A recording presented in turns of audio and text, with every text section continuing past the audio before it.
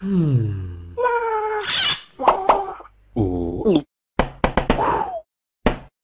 Hi guys, welcome to another video with a tutorial for you. So today I'm going to be showing you guys how to change your Windows 7 theme. This is how I changed it. Um, so I'm not 100% sure it's going to change yours too. But yeah, that's how I changed mine. So yeah. So first you're going to have to download Windows 7 themes or like your computer brand themes. Um, I usually make put Windows 7 themes in my packs first you gotta go to the place where you kept the theme. So let me just use one of the themes from that for the survivors pack. So um. Um let's say I want to use this theme, right click and press copy.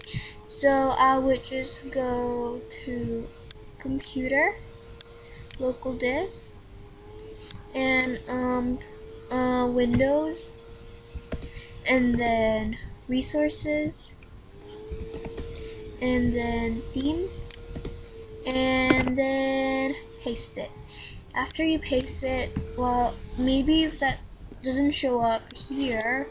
Right click and personalize and you're supposed to see some of the themes. Um, scroll down and down and down. And then you would see install themes and just press it press it and yeah you can use it.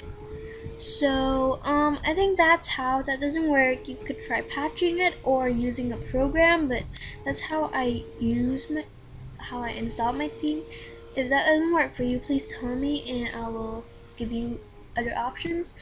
And please please please be careful with with your themes and stuff because they can be kind of dangerous and everything because it might um, break your computer. So you have to use it at your own risk. And when you use the theme make sure the the maker is like trustable or something but I would just suggest not to use so many themes that it could break your computer that's why I just stick with this theme because it's completely safe so yeah I hope this helps and please subscribe like comment favorite or whatever Thanks for watching. Bye bye.